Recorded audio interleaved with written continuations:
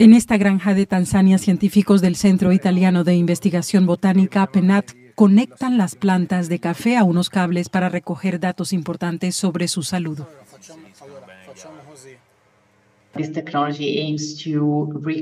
El objetivo de esta tecnología es registrar y descodificar las señales eléctricas que producen las plantas para entender cómo podemos ayudarlas con la gestión del agua u otras técnicas agrícolas.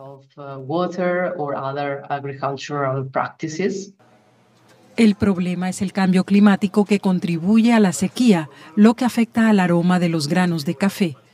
El propietario de la explotación busca formas de adaptarse a las nuevas condiciones. Constatamos un repentino aumento de la competencia por el agua al tiempo que el volumen del curso del río disminuía. Esto sucedió hace no mucho tiempo. La situación no era así hace 20 años, ni siquiera hace 10. Hace unos 10 años comenzamos a ver estas consecuencias.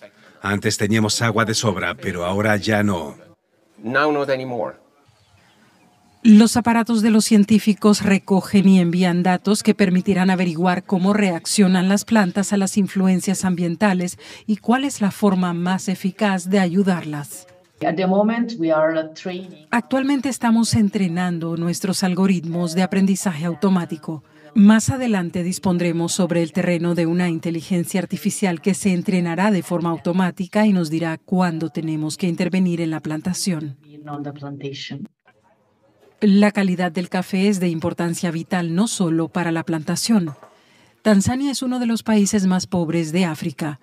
La exportación de café representa la principal fuente de ingresos del país, ocupando de manera directa o indirecta a la mitad de la población. Si los resultados del proyecto son satisfactorios, los científicos esperan poder aplicar este mismo método a otras plantas. Al fin y al cabo, no solo el café se ve afectado por el cambio climático.